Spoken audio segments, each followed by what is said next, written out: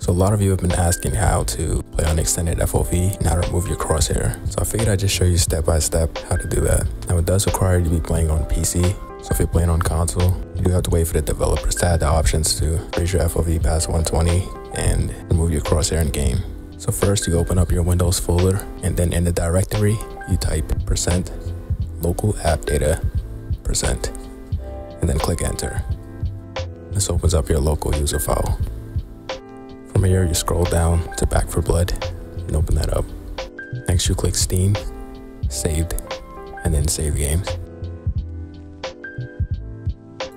What you're looking for is player settings. Before we open it up, make sure you create a copy.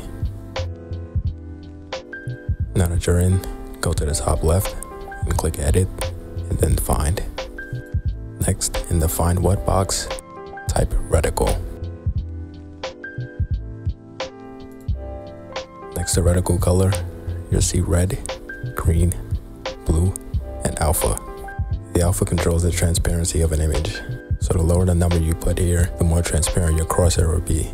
To remove your crosshair, set it to 0.001. After you're done, go up to File and click Save.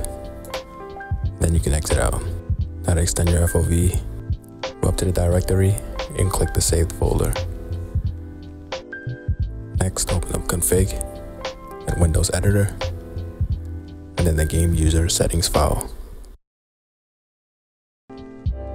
Just like last time, go up to Edit, Find, but this time type Field of View.